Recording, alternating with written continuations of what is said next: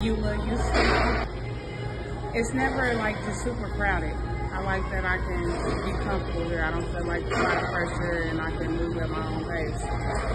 It's clean, it's neat, people are friendly. Uh, a good deal.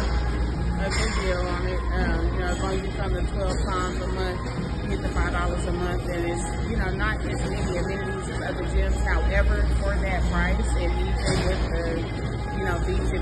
you it's still a really good deal and full service.